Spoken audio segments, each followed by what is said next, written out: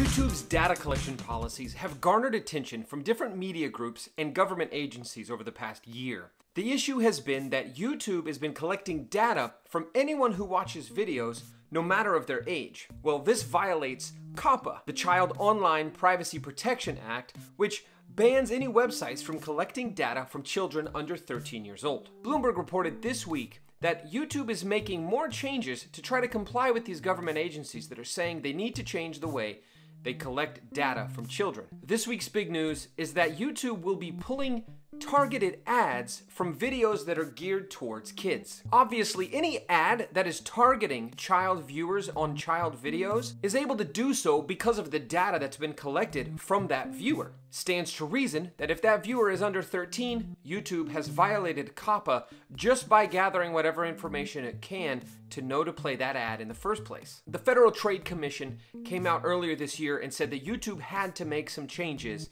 and this is one of them.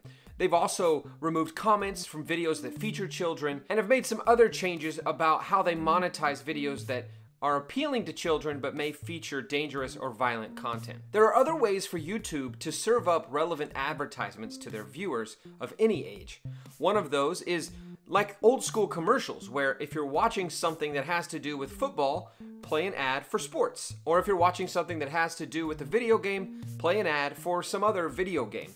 So using the information that they know just because you're watching the video, not because of your user profile or any data they've collected on you, they're able to target an ad based on your interests because obviously you're interested in uh, makeup tutorials because you're watching one right now. Experts don't expect those who are complaining about the way YouTube collects data to be satisfied with any form of advertising that targets children, but this is a step in the right direction. As for us as parents, here's what this means. First of all, YouTube has always said that they don't recommend their regular site for children. They say that's why they made YouTube Kids. Now, YouTube Kids, they say, has never used targeted ads, except for the kind I mentioned earlier that uses the video you're currently watching to identify what kind of ads to serve you. But even that app has had issues with negative or inappropriate content coming through and making it through their filters. The issue is that all of this stuff is done with software algorithms and artificial intelligence.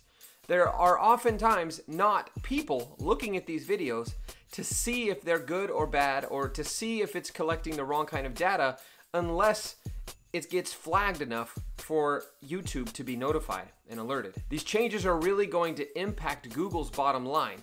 They say, though, that there's other changes they could make that would impact it even worse, so they're trying this first. Only time will tell if they have to make more changes, and really what's going to establish that is the response that parents, educators, and tech safety experts have to this change that YouTube is making. My recommendation is that your kids only watch YouTube when other adults are watching with them, maybe on your TV using something like Chromecast or Apple TV only showing YouTube videos where everyone can see, or only allowing them to watch videos that you've put on a playlist for them yourself, especially if they're younger, can ensure that they're going to be a lot safer and not come across content that's inappropriate. The whole YouTube versus YouTube Kids issue is kind of the epitome to me of what it means for tech companies to put out content for children.